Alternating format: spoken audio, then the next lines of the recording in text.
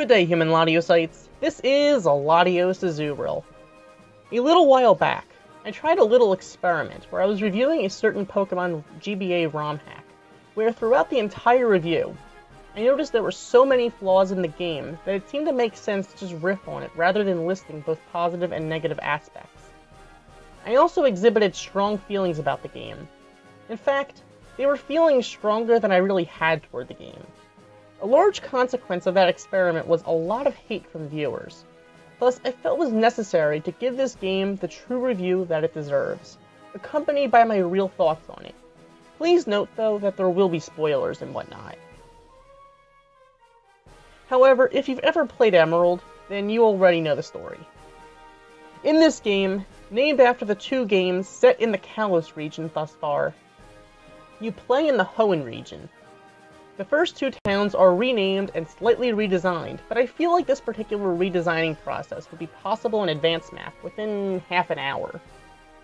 The towns are also renamed, making Littleroot Town into Vaniville Town, and Oldale Town into Lumiose Town.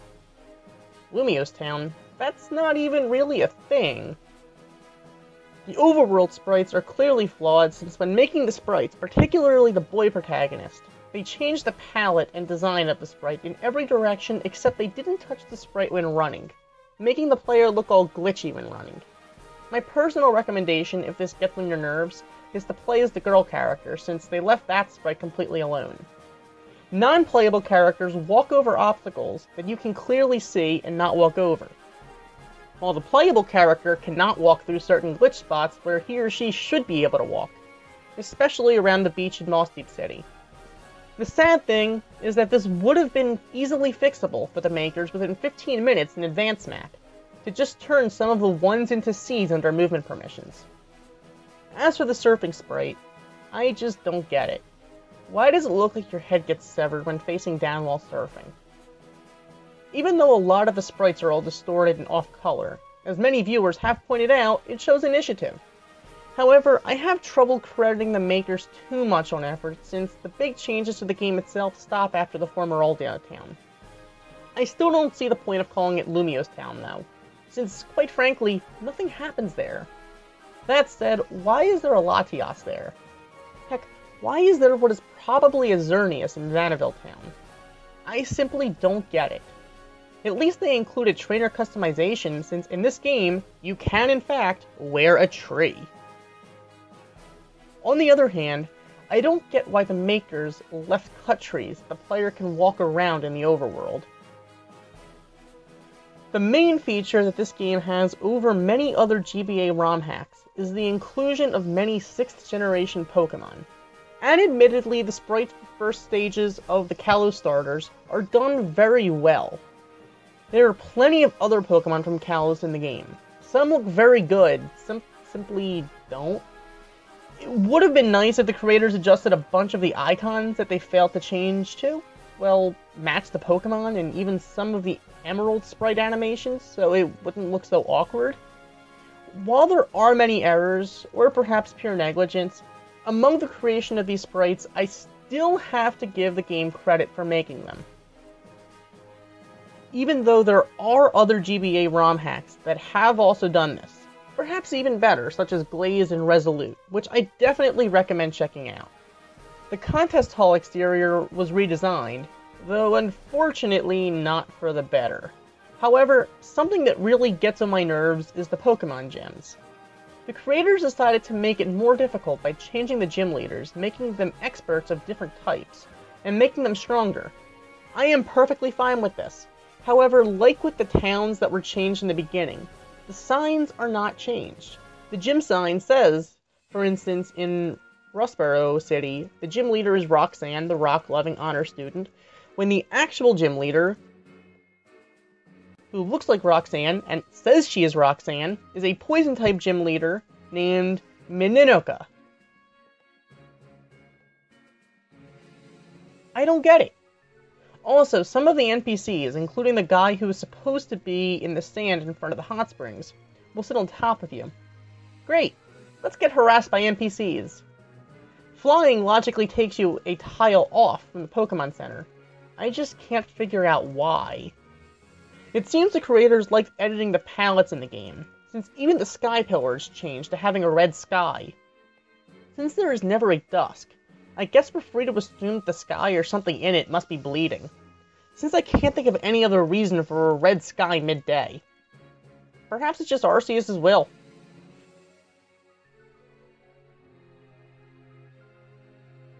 In the end, while I feel that it would be a disservice to you for me to call this a particularly good game, I do want to give it some credit. It tried some things that other games haven't quite done to that level.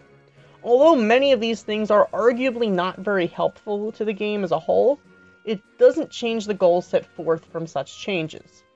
Plus, I really have trouble hating a lot on a game where I was lucky enough to find a shiny Swablu by chance. However, the thing that really saddens me, though, is that this game could have been great if the makers left the overworld sprites and palettes alone. Plus, if they either finished turning Hoenn into a semi-Kalos, as they started in the first two towns, or if they did not change the first two towns in the first place. The game would have made a lot more sense. What it comes down to is that the game tried to change too much, in fact, probably more than it could handle, leading to a few great things and a jumbled mess of half-finished things that were relatively less than good. If any of you guys watching are considering making a ROM hack of your own, my advice from this would be to finish what you start. If you're going to change the Pokemon and its sprite, also change the icons and animations. If you're going to change the overworld sprites and palettes, finish it so it doesn't look sloppy. If you're going to change the layout and name of the towns to fit a different region, be consistent throughout the whole game and signage, not just the first two towns before quitting.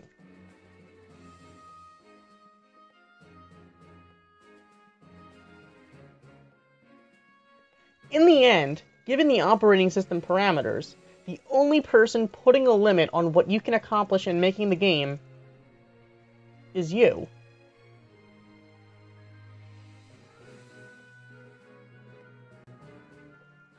I'm Latios Azubral, and I review it so you don't go through shit. Goodbye.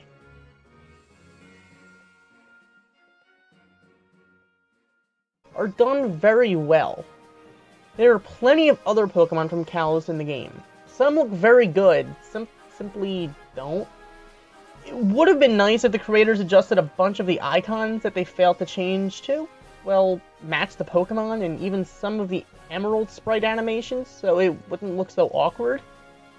While there are many errors, or perhaps pure negligence, among the creation of these sprites, I still have to give the game credit for making them. Even though there are other GBA ROM hacks that have also done this, perhaps even better, such as Glaze and Resolute, which I definitely recommend checking out.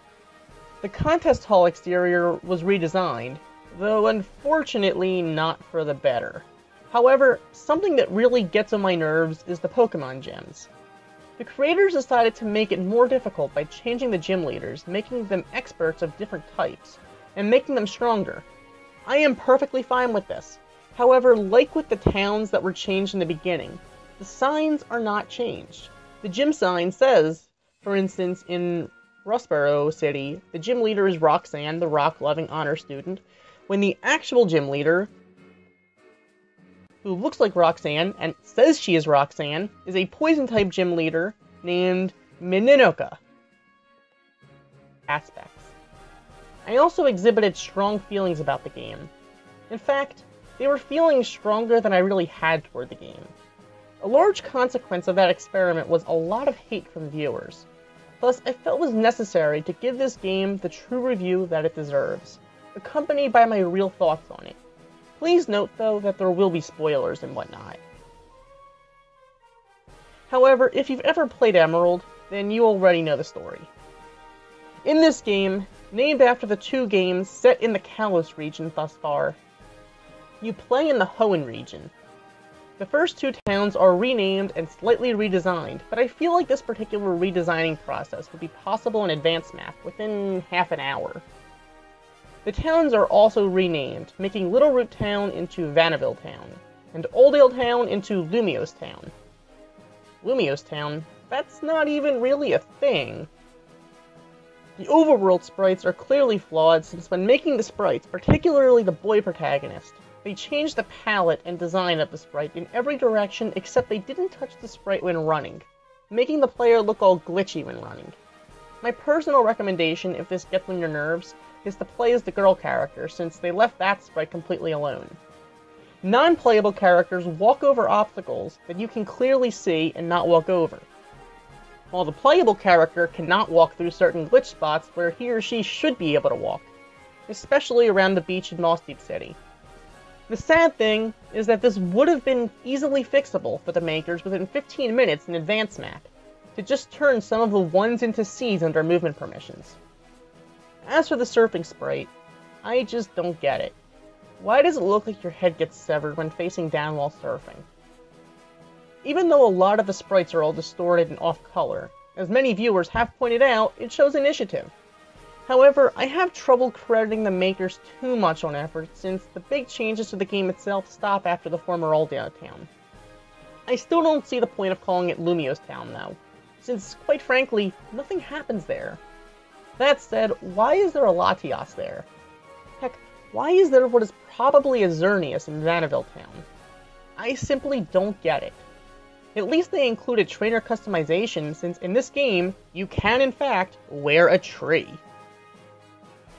On the other hand, I don't get why the makers left cut trees the player can walk around in the overworld.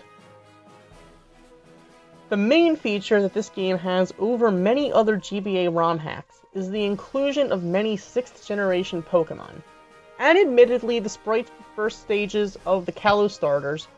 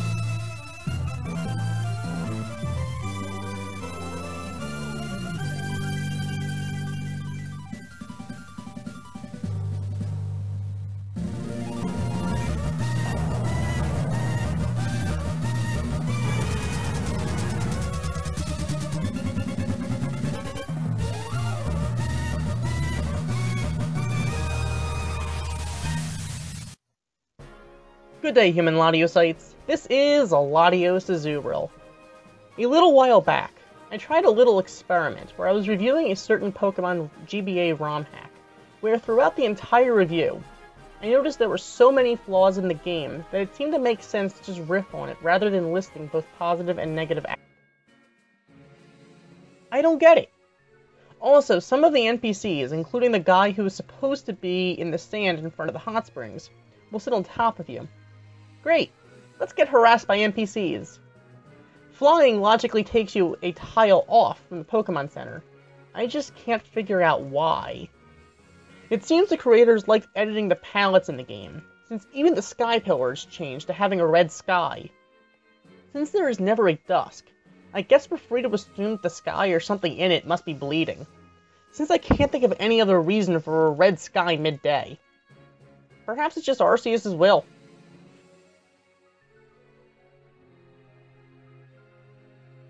In the end, while I feel that it would be a disservice to you for me to call this a particularly good game, I do want to give it some credit. It tried some things that other games haven't quite done to that level. Although many of these things are arguably not very helpful to the game as a whole, it doesn't change the goals set forth from such changes. Plus, I really have trouble hating a lot on a game where I was lucky enough to find a shiny Swablu by chance. However, the thing that really saddens me, though, is that this game could have been great if the makers left the overworld sprites and palettes alone. Plus, if they either finished turning Hoenn into a